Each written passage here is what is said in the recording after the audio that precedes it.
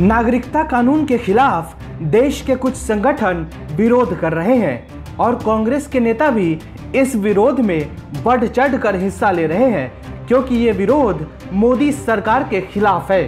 इस विरोध के ज़रिए कांग्रेस पार्टी अपनी राजनीतिक ज़मीन तलाशने में जुटी है और मोदी के विरोध में कांग्रेस के नेता ऐसे बयान दे देते हैं जिससे देश की छवि खराब हो सकती है।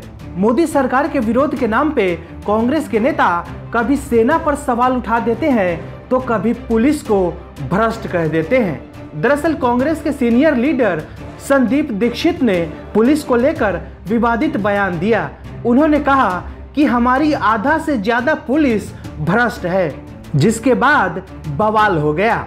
और जब सवाल खड़े हुए तो उन्होंने सफ़ाई देते हुए कहा कि मैंने यह कहा कि ज़्यादातर पुलिस करप्ट है, यह नहीं कि सभी पुलिस वाले भ्रष्ट हैं। इसके अलावा संदीप दीक्षित ने कहा कि राजनेता जनता के प्रति जवाबदेह हैं। इसी तरह से जनसेवक भी आम लोगों के प्रति जवाबदेह हैं। संदीप के इस बयान पर बीजेपी ने उनसे माफ़ी की मांग की, लेकिन संदीप ने माफ़ी मांगने से इनकार कर दिया।